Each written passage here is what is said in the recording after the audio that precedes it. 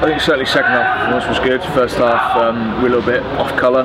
Um, yeah, we, we, created some good shots, good opportunities, didn't quite take them, um, which led to the boys getting a little bit frustrated. But you know, we, we, spoke about it at half time and, and, kind of relaxed a little bit and um, flipped the switch and, and came away with a good result as I've said to I've said to some of the guys uh, during the week that a lot of teams are going to come at us early doors. So 40 50 60 minutes we can expect a battle. So I'm sure onlookers and even guys in the team were a bit um, I suppose not worried but probably not as happy that we were in the position we were rather than maybe a few points ahead or a score or two ahead. So it's going to be the season like that. It's going to be teams are coming coming after us, and um, we just have to keep keep with our process and grind it out.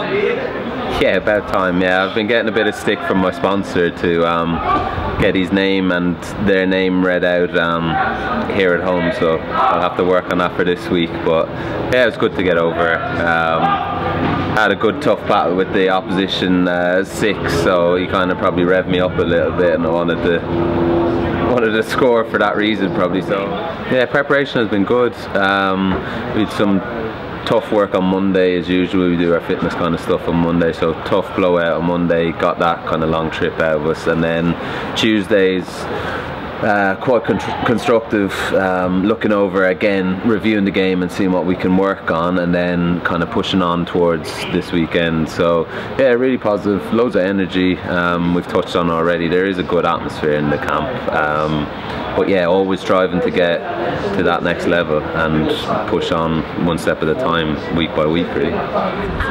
The Fylde are always difficult to play. Um, they approach the game differently to, to other teams. Uh, they, will keep the ball for long periods. Uh, they like to, to, to, run the ball a lot and attack from anywhere. Um, so they pose a lot of threats. So we'll have to be on the money to, to, to get away with a win.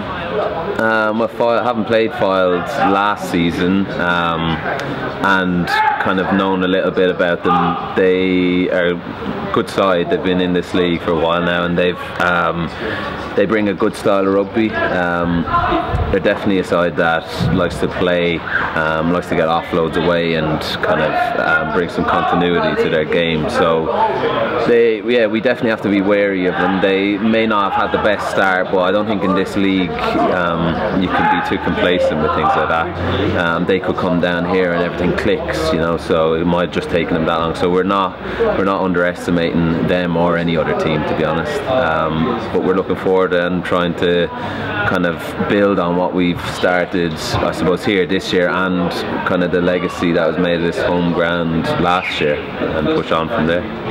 Uh, we've rotated a few guys up front uh, just to freshen things up. Uh, Dan Pullinger's played a lot of minutes already, uh, as has Will Norton, so, so we, have swapped those guys in for um, for Luke Chapman and Marcus Street. Um, but apart from that, we're, we're pretty much as we were. We picked up a couple of injuries. Uh, Dan Collier's uh, going to be out, but um, apart from that, I think we're, we're as we were.